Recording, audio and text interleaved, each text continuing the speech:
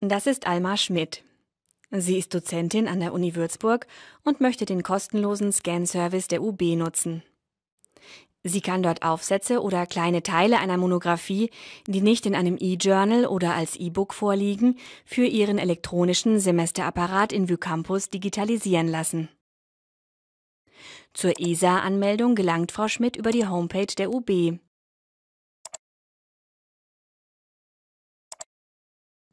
Oder wahlweise direkt aus Vucampus. Sie ist im Hochschulnetz, ansonsten müsste sie über den externen Zugang zugreifen. Sie meldet sich mit ihrer UB-Benutzernummer an.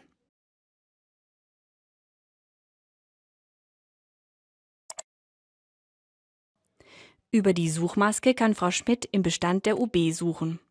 Für Monographien reicht meistens die einfache Suche.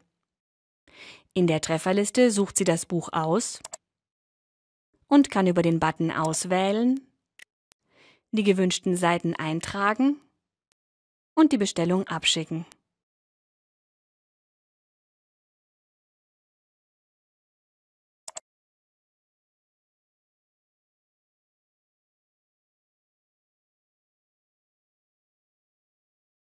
Alma Schmidt möchte auch einen Aufsatz aus einer Zeitschrift in ihren Semesterapparat einstellen.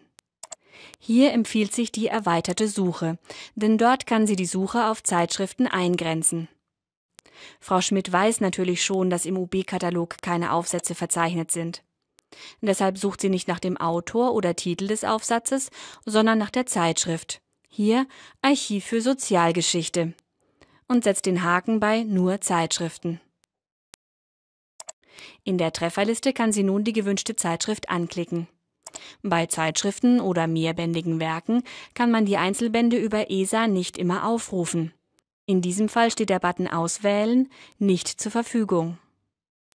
Frau Schmidt schickt uns deshalb über Anfrage einfach eine Mail mit den genauen bibliografischen Angaben des Artikels und wir suchen den Band dann gerne für Sie heraus.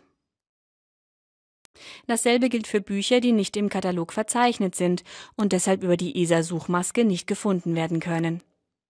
Schreiben Sie uns und wir schaffen das Buch gerne für Sie an und bearbeiten Ihre Anfrage. Abmelden nicht vergessen. Frau Schmidt erhält nun eine Mail, in der sie den Scanauftrag innerhalb von drei Tagen bestätigen muss. Sobald wir die Texte digitalisiert haben, erhält Frau Schmidt jeweils eine Mail mit dem Link zum PDF. Sie hat nun einen Monat Zeit, um die Dateien herunterzuladen.